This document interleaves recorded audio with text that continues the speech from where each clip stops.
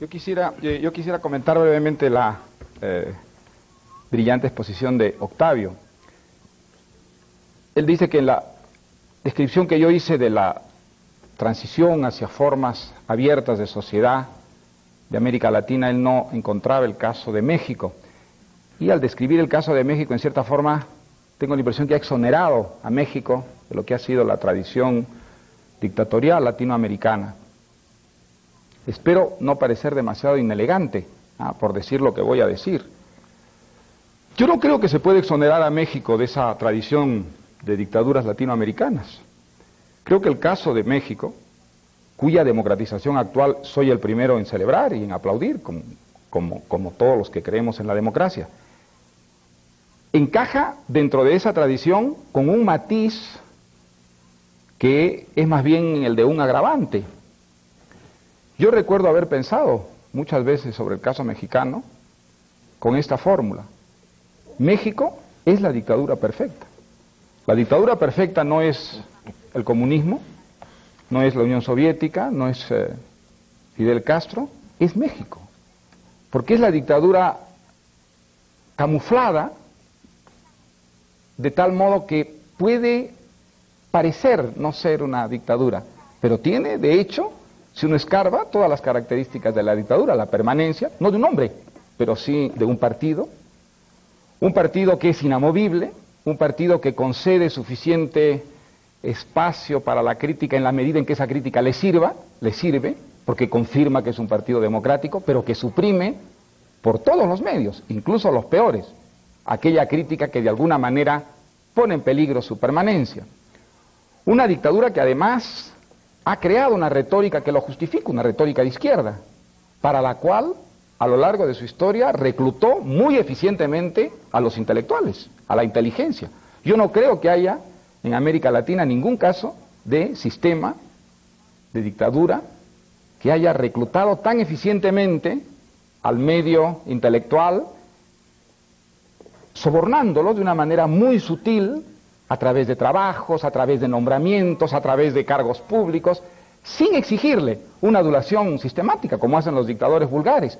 Por el contrario, pidiéndole más bien una actitud crítica, porque esa era la mejor manera de garantizar la permanencia de ese partido en el poder. Un partido de hecho único, porque era el partido que financiaba a los partidos opositores.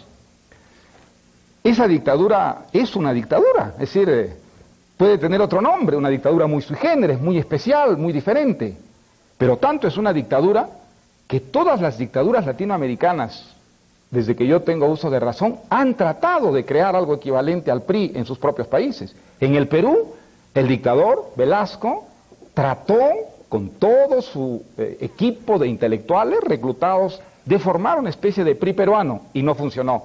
Y Alan García trató de crear un PRI peruano.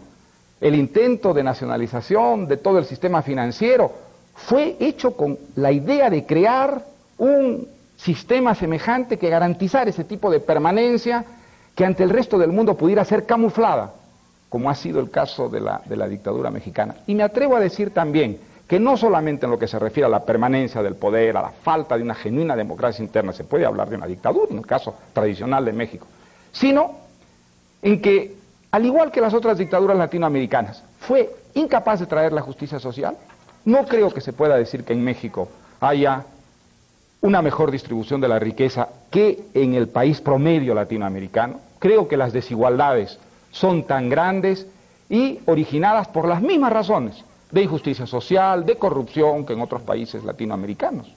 Entonces, la dictadura tuvo también, en el caso de México, las mismas consecuencias que tienen las otras dictaduras latinoamericanas. Es verdad que ha habido una crítica interna muy talentosa, muy generosa, muy valerosa de muchos intelectuales mexicanos, naturalmente, entre ellos Octavio Paz, sin ninguna duda.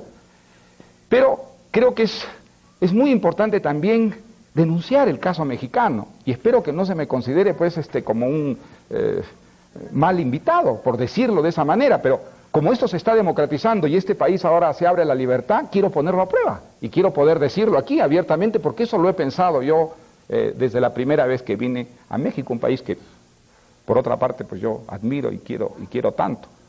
Creo que no, creo que es muy importante que también en el caso de México se diga que aquí se vivió y se ha vivido durante décadas con unos matices muy particulares, muy especiales, el fenómeno de la dictadura latinoamericana. La Revolución Mexicana tiene cosas admirables, sin ninguna duda. La más importante tal vez aquella que mencionó Octavio, la reivindicación de un pasado, la reivindicación de la tradición prehispánica que ha, sido asumida con orgullo por el pueblo mexicano, como no ha sido asumida en otros países, por ejemplo en el mío. Eso es una indudablemente contribución muy positiva. Pero también hay que entender que eso ha sido otro de los instrumentos que ha utilizado el, sistema dictatorial del, del, PRI para eternizarse. Ha sido otro argumento de esa gran demagogia retórica a lo largo de su historia del PRI, que se ha prestado a muchas falsificaciones de tipo cultural, como por ejemplo la justificación de falsos artistas, de falsos géneros eh, artísticos, en nombre de ese nacionalismo que creo que es uno de los factores más peligrosos dentro de este proceso de democratización mexicana. Un factor que debe ser puesto eh, en, tela de juicio y cuestionado si nosotros, como estoy seguro que lo quieren los demócratas mexicanos, quieren que esta democratización y liberación en México vaya hasta sus últimas consecuencias. Hay que agradecerle mucho a, Vargas Llosa